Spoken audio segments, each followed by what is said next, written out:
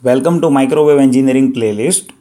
Here in this session, I'll be explaining magnetron oscillator and these are my session outlines for magnetron oscillator explanation. So where I'll be explaining basics of magnetron oscillator first, then I'll explain structure of magnetron oscillator, then based on structure how electric field and magnetic field which is there with magnetron oscillator that I'll be discussing. Then I'll explain working of magnetron. Then I'll explain you internal structure with internal circuit which is there with magnetron. And then I'll sum up this session by explaining few advantages, disadvantages and applications of magnetron oscillator. So let us move on to first point of this session that is basics of magnetron. So when we talk about magnetron it is high power vacuum tube. And that works as a self excited microwave oscillator. So it is high power vacuum tube that works as a self excited microwave oscillator. It is multi cavity device and that could be utilized for radar, radar transmitter or for continuous wave pulse radar. So it is multi-cavity device. Its frequency range that is there from 0.6 gigahertz to 30 gigahertz. It works with free, fixed frequency based on its construction. So once construction is fixed, its frequency cannot change. So works with fixed frequency constructively. It is available with 8, 8 to 20 cavity models. So I'll explain 8 cavity model in this session. Likewise, there could be 20 cavities, even that could be there with magnetron. So let us move on to next point that is structure. So now when we talk about structure, here one can see this is what coaxial connection where we will be feeding RF input. So from here we give RF input. So this is what inner conductor by which we will be giving RF input. These are anode cavities.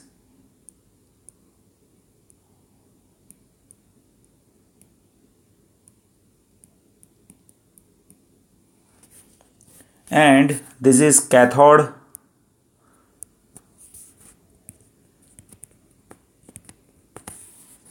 and cathode is connected with filaments. So here we will be giving DC supply to this filament. So these are filaments to which we will be giving DC supply. So ultimately when we see structure of magnetron at center there is cathode. There are cavities as one can see here these are cavities. There are 8 cavities with this structure and these 8 cavities that is been excited by this RF input. Now here each cavity that is passing on its excitation to other cavity and all cavities are 180 degree phase aparted to each other. So adjacent cavity that is aparted by 180 degree.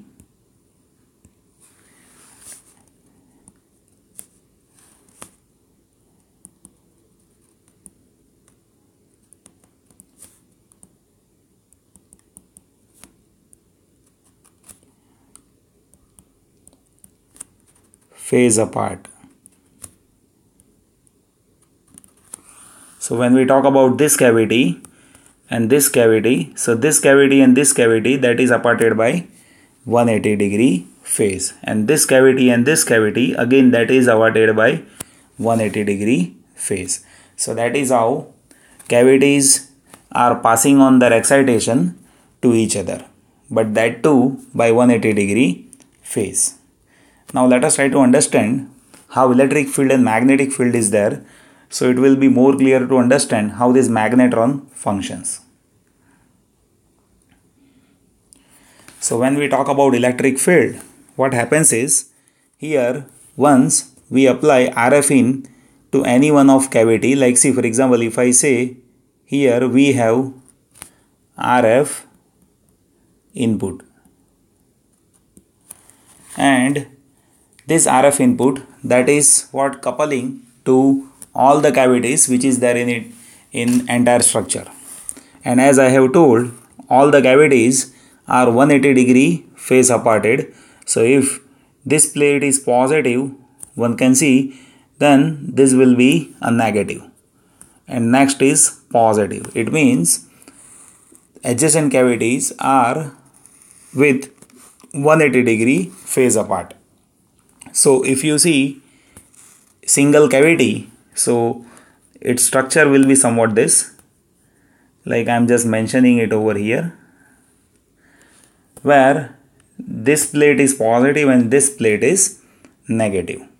So from positive plate to negative plate electric field will go. So ultimately one can see by these blue color lines over here electric field that is emerging from positive plate and it is getting enclosed to negative plate. I am showing it here like see from this positive plate electric field is getting emerged and it is getting enclosed to negative plate. So that is how individual cavity is having electric field. So for all cavities one can see electric fields. These are anode cavities and this is cathode. So this is cathode and these are anode cavities. Now let us try to understand how magnetic field is there. So when we see magnetic field, so that is always perpendicular to the direction of motion of electrons. So electric field that we have already seen and motion of electrons that is like this from cathode to anode. So these are magnetic field direction which is perpendicular to the cross section. So this is magnetic field.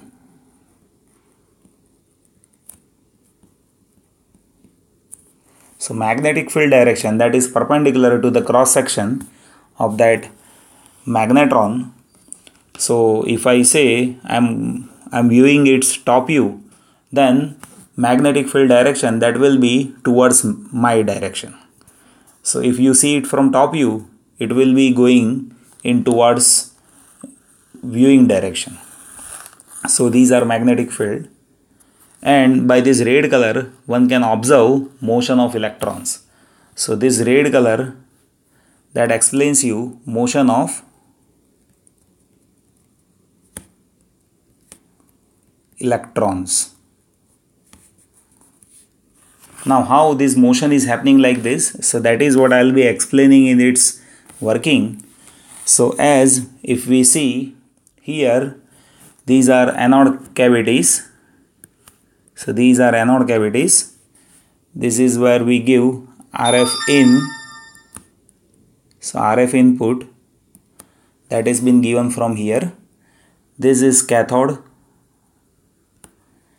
and here this space that is interaction chamber and we are viewing this magnetron from top view.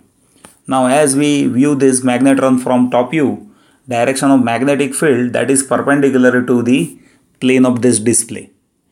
So I am just mentioning magnetic field direction by considering it is emerging from the plane of this display. So magnetic field that is emerging from the plane of this display. Electric field that we have already seen, if I say this is positive plate and this is negative plate, so electric field that will emerge from positive plate and enclose to negative plate like this. And if this is positive plate then this will be negative plate and from here even electric field will emerge and it will get enclosed to negative plate like this. Now here what will happen with electrons? So as I have told this is cathode. So cathode is connected with DC supply. So as we apply DC supply to cathode, electrons will emerge from cathode. Now if I say magnetic field is 0, so in first case by this green color, magnetic field is 0. So what happens?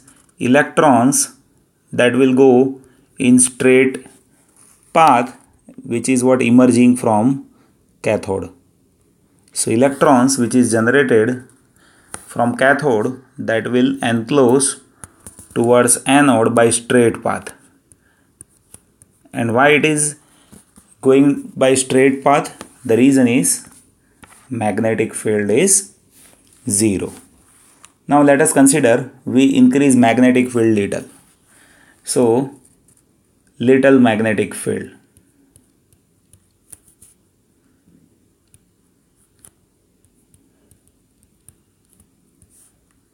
So by second case, I'll be explaining little magnetic field. So now what will happen?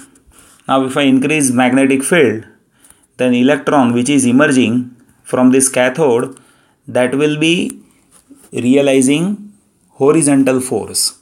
So instead of it move straight path, now it will be having little curve like this. And it will enclose to the anode cavities. So one can observe now electrons that is having somewhat tilt and that is happening because of magnetic field. So ultimately here magnetic force that is tilting electrons direction. Now electron is not moving directly from cathode to anode. The reason is that force that is F is equals to charge into velocity cross magnetic field. So this is what magnetic force which is happening and by this force electron is tilted by little quantity. So velocity is fixed but a magnetic field that will give magnetic force and it will change its direction like this. Now in third case I'll increase magnetic field bit more. So more magnetic field I'm considering relatively. So in case of more magnetic field what will happen now? So in case of more magnetic field electrons which is emerging from cathode that will enclose to its own position again. So again it will get enclosed to cathode. It will not go uh, towards anode. So if you have more magnetic field then those electrons that will not move from cathode to anode. So here ultimately what happens we control magnetic field by RF input.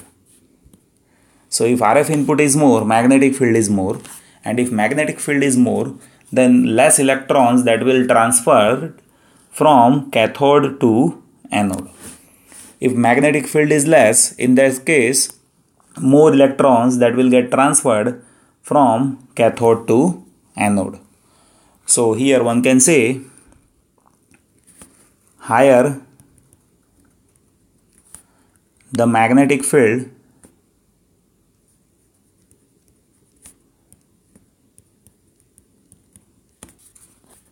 less the number of electrons passing from cathode to anode. So higher the magnetic field, less the number of electrons passing from cathode to anode. So that is what the case which is happening here. Now here one more thing that is pretty much important which we need to focus about and that is velocity modulation. So how velocity modulation is happening? Higher the RF input, higher higher the RF input, higher the magnetic field and higher the magnetic field, less number of electrons will get transferred. So here if magnetic force is more, in that case, velocity that is more. And if magnetic force is less velocity is less. So in that case what happens is because of higher velocity late electrons that will get bunched with reference electron. So ultimately because of variable magnetic force velocity of electrons is variable. So early electrons that will be having lower velocity late electrons that will be having higher velocity. So ultimately electrons will get bunched and because of electron bunching now there will be magnification of RF signal which is what we are inserting over here. So electron bunching that is what the case which is happening here. So basically how it functions by this green color one can see if magnetic field is zero from cathode to anode cavities electrons will directly go it will not tilt. But as if you increase little magnetic field by this blue color one can observe here that magnetic field will exert this much amount of force q into v cross b and because of that angle will get tilted a little when it moves from cathode to anode and if more magnetic field is there in that case it is possible electrons will not go from cathode to anode. Again it will come to its original position. So that is how it may move. And velocity modulation that is happening because of magnetic force which is happening on electron and because of that there will be velocity modulation and electron bunching will happen and that will result into magnification or one can say amplification of RF input. Now let us move on to next point that is internal circuit of magnetron. So as I have told this is what anode cavity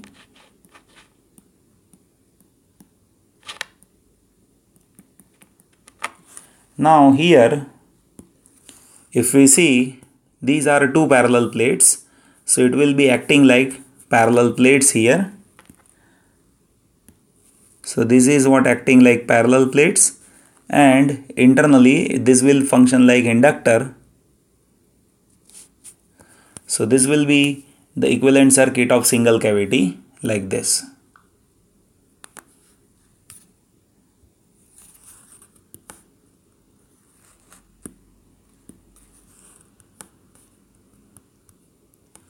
for single cavity this will be the equivalent circuit. And one can see over here I have shown it like this. So this will be what? Parallel plate capacitor. And this is inductor. So that is how its equivalent circuit is there. So its resonance frequency that will be fr that is equals to 1 by 2 pi square root of LC so that is how its resonance frequency is there with cavity magnetron.